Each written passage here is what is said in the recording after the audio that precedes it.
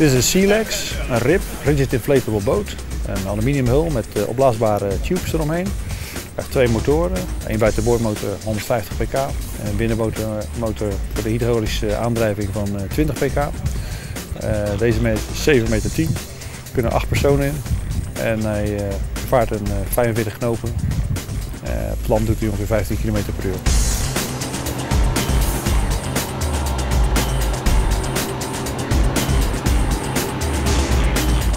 Silex wordt gebouwd in Nieuw-Zeeland, is per direct uh, leverbaar. Dragon Marine in uh, Stellendam is vertegenwoordiger voor Europa. Uh, zeer geschikt voor KNRM, reddingsdiensten, brandweer, ijsreddingen, defensie bijvoorbeeld. En als je wil kan je hem ook parkeren op de PCO-straat.